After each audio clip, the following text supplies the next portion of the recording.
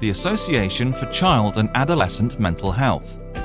This is your chance to share in arguably the most significant event of the year, centred on mental health for children and adolescents, the 2017 Jack Tizard Memorial Conference and Lecture. This year, we are honoured to welcome keynote speaker Professor Lord Layard, Emeritus Professor of Economics at the London School of Economics.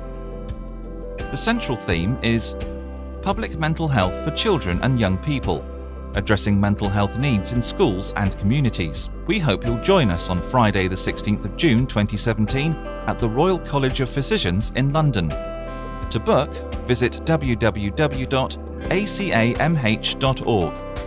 There's an outstanding lineup of speakers drawing on up-to-date research and practice innovation on public mental health in schools.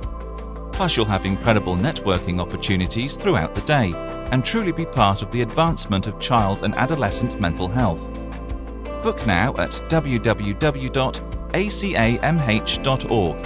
Search on Twitter for the hashtag Tizard2017